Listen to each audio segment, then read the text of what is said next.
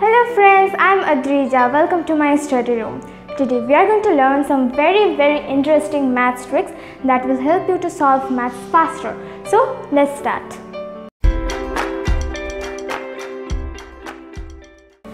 So let's begin with the first tricks. What is written over here? 15 square, 25 square, 35 square, 45 square, 55 square, 65 square, 75 square, 85 and 85 square and 95 square right? So how do we find out square? Uh, we what is the number? 15 suppose. Um, 15 square how do we find out? We multiply 15 into 15 it is 15 square.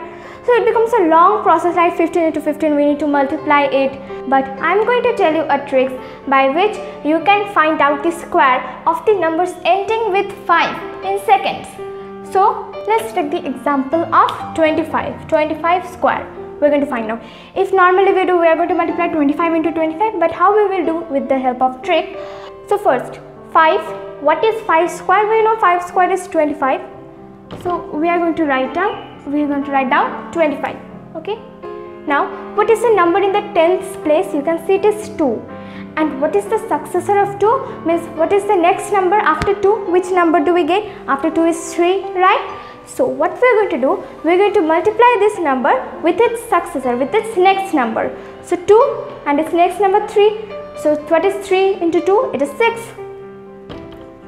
So you will find out that 25 square is 625. So isn't it very easy? It is very easy. So now let's solve the others, okay? 15, 25, 5 square is 25 and 1, what is the successor of 1? What is the next number? After 1 it is 2 so 1 into 2 is 2 so answer is 2 to 5 35 5 square 25 again. Okay now 3 what is the next number? 4 4 3s are 12 again 25 5 square is 25 4 what is the next number? 5 then 4 5s are 20 again 25 5 square is 25 5 5's next number 6 6 5's are 30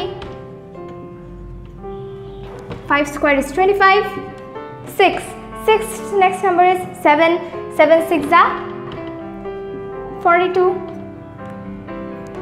again 5 square is 25 7 7's next number 7 successor is 8 8 7's are 56 5 square is 25 9 is 72 now 95 square. 5 is 25 5 square 25 what is the next number? It is 10 and 10 nines are 90 9 so you can see it is very easy. We can we can find out the squares of the numbers ending with 5 in a very easy way in seconds right so this was the first math trick. Now let's move to the second one.